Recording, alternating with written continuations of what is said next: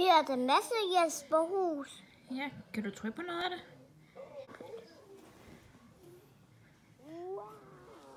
Ej, hvad tror du, det er for en lyd, Romkugle? Jeg ved det ikke helt. Hov, hej Sikker Sak.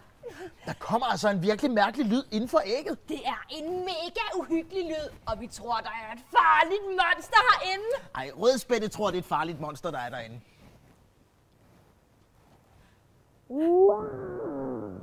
Er det ikke mega uhyggeligt?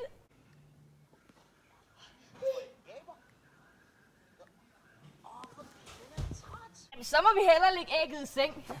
Men hvor? Hvad?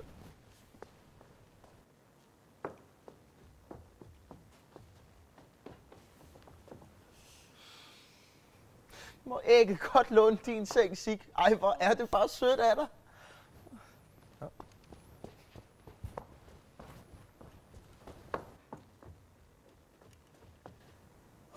Nå, ej, Sak, må ægget også godt låne din seng? Hvor er I bare søde begge to? Sikker sagt, stop! Jeg kan godt forstå, at I gerne vil have ægget til at sove i jeres seng, begge to.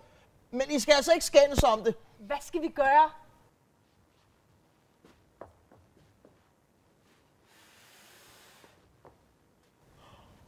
God idé, Sak! Kom. Så. Ja, ja, der var jeg. Oj, Så. Den. Vi bygger en seng til ægget. Og så tager de her to sove sammen.